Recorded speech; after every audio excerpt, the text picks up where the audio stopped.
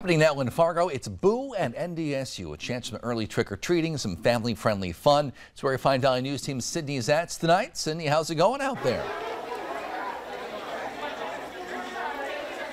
Justin. A lot of excitement here tonight one of the residence halls at, NDSU. I'm seeing a whole lot of Elsas tonight. Just saw Dorothy, a lot of superheroes, just saw a dinosaur.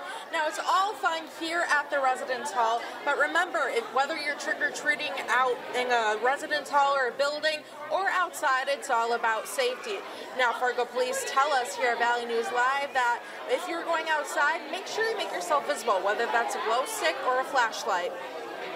Visibility is a huge thing, right? Sun goes down, it's going to get dark. That's when people like to go out and trick or treat, and uh, you know having um, costumes that are you know visible, or if you can mark them a little bit with some you know reflective material, so that way when you are crossing streets and doing different things, and we all know how uh, kids get excited about Halloween, and they want to catch up with their friends and maybe run across the street to to their friend's house or to meet up at another house and having those uh, those costumes, you know, visible, visible, or you know, for um, um, motor vehiclists to be able to, to see the kids.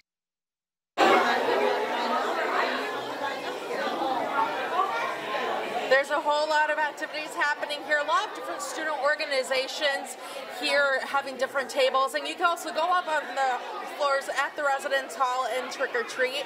Now this event goes until 7:30. Justin, I'm sending it back to you. Sounds good. Thanks, Sydney.